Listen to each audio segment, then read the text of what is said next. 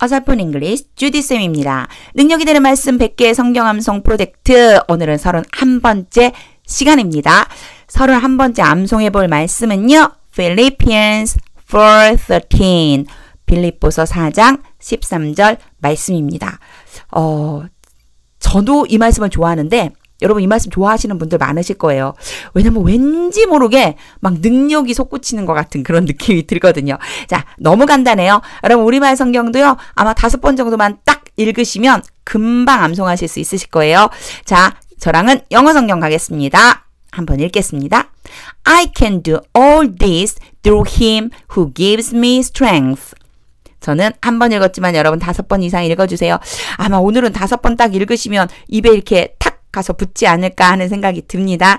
여러분 어려운 어휘가 없었어요. 그래서 오늘은 어휘 암기가 따로 없어요. 뭐 strength 힘, 능력 뭐 이런 의미잖아요. 그렇죠? 나에게 힘 주시는 분, 나에게 능력 주시는 분 이럴 때 strength 사용합니다. 자, 구조 바로 보겠습니다. 구조도 어렵지 않아요. 너무 짧아서. I can do all this. 여기까지 끊을 거예요. 여러분 여기에 this가 나와 있는데요. 요거는 빌립보서 우리 4장 13절 하고 있잖아요. 12절에 이미 내용이 나와 있어서 그래요. 그래서 이제 어 지금 11절, 12절 계속 연속되는 말씀 속에서 나온 거라서 그렇고요. 우리말로 해석하실 땐 그냥 이 모든 것을 이렇게 해석하시면 돼요. I can do all this. 이 모든 것을 나는 할 수 있다. through him 그를 통해서라고 했을 때 여기에 그는요. 앞절에 보면은 주님 하나님, the Lord가 나옵니다. 그분을 통해서, 바로 주님을 통해서 내가 모든 것을 할 수 있습니다. 이런 얘기예요. 자, 그분은 어떤 분이시냐면은요, 뒤에 이제 후가 힘을 받아서 또 설명을 해주고 있죠. 그분은 gives me strength.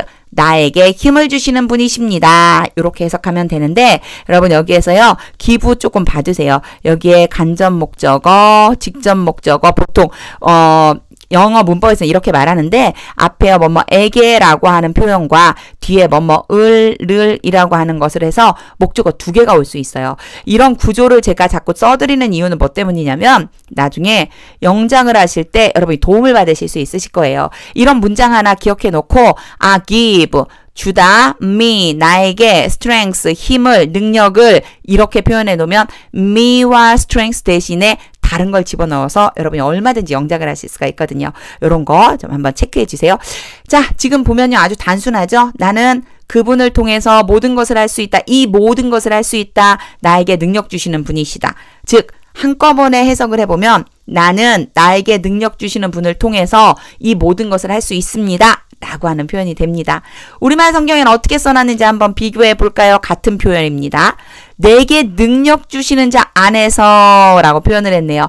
영어에서는 through him 이라고 그랬는데요. 내게 능력 주시는 자 안에서라고 했어요. 내가 모든 것을 할 수 있느니라 이 모든 것이라고 했지만 그냥 우리말 성경엔 모든 것을 할 수 있습니다. 있다라고 그랬습니다.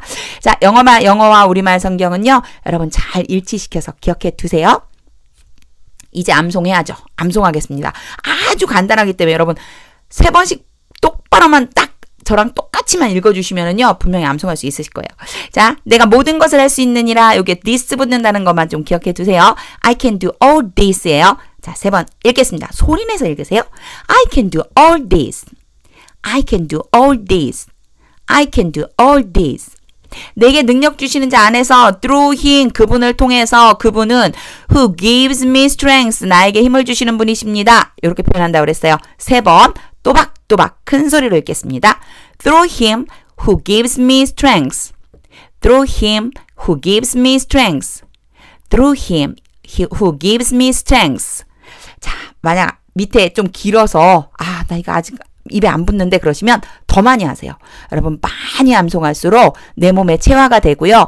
여러분의 영어 실력이 아주 아주 올라갑니다. 그러니까 많이 암송하세요. 입에서 툭 나올 정도로 여러분 읽어보세요. 전체 문장 하기 전에 여러분 요 화면은요 체크하시는 부분이에요. 내가 여기에서 어 이걸 다 지금 암송했는데 잘 나오나 요 화면 잠깐 멈춰서 여러분이 지금 잘 암송하고 있는지 확인하시고요. 안 되면 앞에 돌아갔다 또 오세요. 자, 전체 문장 한번 읽겠습니다. I can do all this through him who gives me strength. 여러분 이 말씀은요 진짜 능력의 말씀이에요. 보세요. 나에게 능력 주시는 자 안에서 내가 모든 것을 할 수 있느니라. 저는 처음에 이 모든 것을 할 수 있느니라 때문에 엄청나게 힘을 얻었습니다. 그런데 가만히 제가 보니까요. 이 모든 것이라고 하는 걸 내가 원하는 것만 생각하고 있었더라고요. 예를 들어서 내가 돈을 벌고 싶어요. 아, 하나님, 제가 하나님 안에 있으면 돈 벌 수 있습니다. 돈 벌 능력이 있습니다. 저한테 능력 주세요.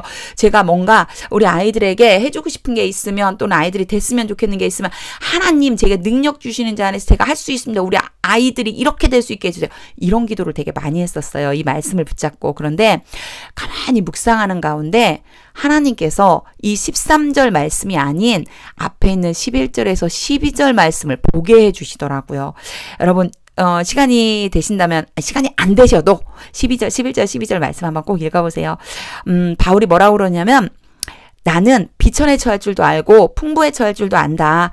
나는 주님이 주시는 능력 안에서 이 모든 것을 할 수 있다. 이런 표현이 나와 있어요. 사실 무조건 풍부함을 원하는 게 제 삶이었었거든요. 근데 이 말씀을 암송하고 11절, 12절 말씀을 읽으면서 묵상하는 가운데 하나님께서 시편 23편 1절 말씀을 다시 떠올리게 해 주시더라고요. 여러분 시편 23편 1절 말씀이 뭔지 아시죠? 네, 여호와는 나의 목자시니 내게 부족함이 없으리로다.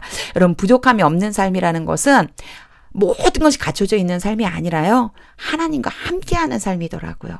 제가 그걸 깨닫게 됐습니다. 이 모든 것을 할 수 있다라고 할 때 이 모든 것은요. 제가 지금 어떠한 형편에 처해 있든지 궁핍하든지 풍요롭든지 고난에 있든지 축복 속에 있든지 상관없이 주님 난 주님 안에 있기 때문에 부족함이 없습니다라고 고백하는 게 그게 바로 나에게 능력 나에게 주시는 하나님의 능력이더라고요.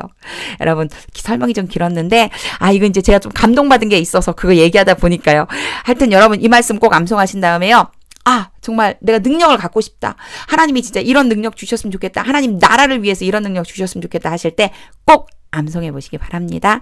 여러분 캡처해 두셨다가요. 정말 내 앞에 열려 이 닫혀 있는 문이 쾅 열려가지고 어, 내가 능력으로 나아가고 싶다 하실 때 마스터키로 사용하시기 바랍니다.